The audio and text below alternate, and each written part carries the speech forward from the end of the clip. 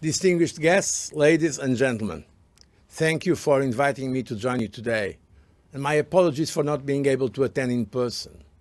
The Indo-Pacific region has made impressive progress to prevent and contain infectious diseases threats with the potential to cause social and economic harms on a national, regional or global scale.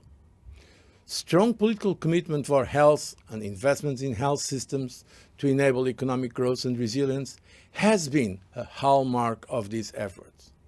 Even before the pandemic hit, there were a number of regional health security initiatives underway, notably the Indo-Pacific Center for Health Security, ASEAN Vaccine Security and Self-Reliance Initiative, and the APEC Health Agenda. The World Health Organization's recent decision to recommend the broad deployment of the RTS-S vaccine, the first malaria vaccine ever to be licensed and receive such an endorsement, represents a truly historic moment in the fight against this ancient disease. With RTS-S first developed nearly 35 years ago, and the search for a safe and effective malaria vaccine beginning more than a century ago, this marks the end of a very long journey. But it is also the beginning of an important new one, and an opportunity, particularly for the Indo-Pacific region, for RTS-S to become just the first of a range of malaria vaccines that the world so desperately needs. We have seen considerable progress against malaria in the past 20 years, thanks to sustained investments in increasing coverage of PHC services, especially to remote populations, and in strengthening surveillance systems and vector control, many countries in Asia-Pacific, such as China and Sri Lanka, have gone several years with indigenous cases. But this progress has leveled off more recently, and several countries continue to face persistent malaria burden, such as in Papua New Guinea. In Asia, 2.5 billion people remain at risk of malaria, with rural and impoverished communities at the highest risk. With the emergence and rapid spread of drug and insecticide-resistant malaria strains, and the spread of the mosquito vectors due to climate change, this risk could only become more dire. Malaria currently kills more than 400,000 people a year. While this burden is felt predominantly in Africa, over 10,000 people, the majority children, still die of this highly preventable and treatable disease in Asia. And with around 238 million cases globally, the broader social and economic costs of this disease are huge. Previously, economists have estimated that malaria creates a gross penalty, slowing GDP as billions of dollars are lost due to healthcare costs and productivity loss. Therefore, the need for malaria vaccines to support existing preventative measures is huge. As the three large-scale national pilots have shown, when used in combination with other interventions, such as bed nets and anti-malarial medication, RTS-S can be effective at reducing severe malaria by 30%. This means, if deployed widely, it has great potential to become an important additional tool to help accelerate progress in the control of this disease. Now we need to work out precisely what malaria vaccination programs should look like, how to integrate them into existing routine immunization programs, and how to deliver this vaccine in a way that really complements other malaria control interventions.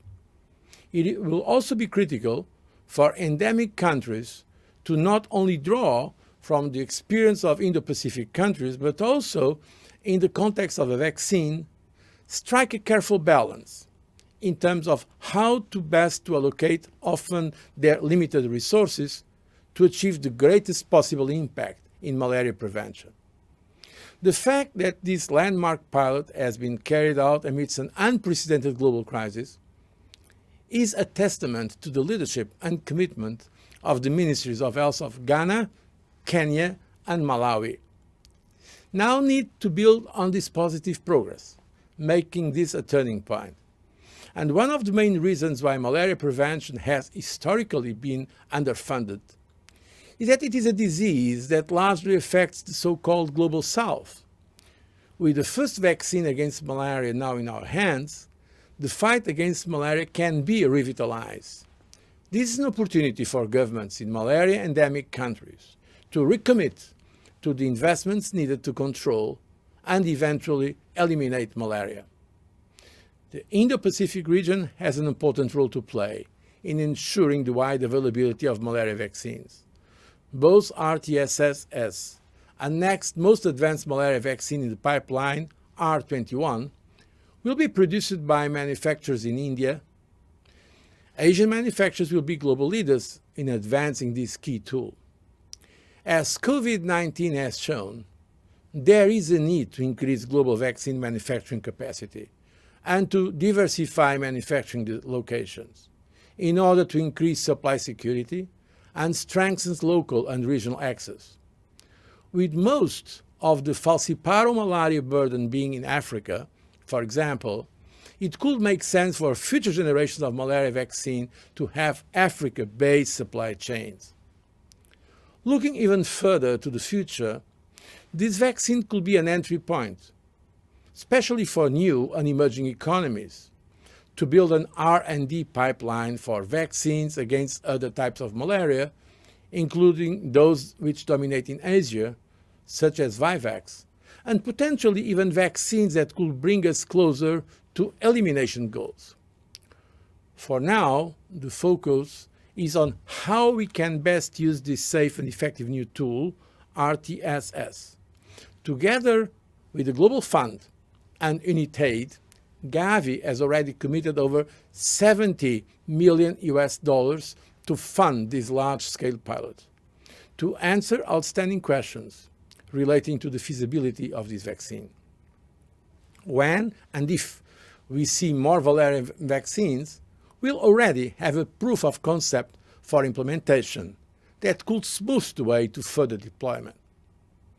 Now, following the positive findings of this pilot and WHO's recommendation, Gavi will consider the future financing of a new malaria vaccination program for countries Gavi supports with high burdens of the disease.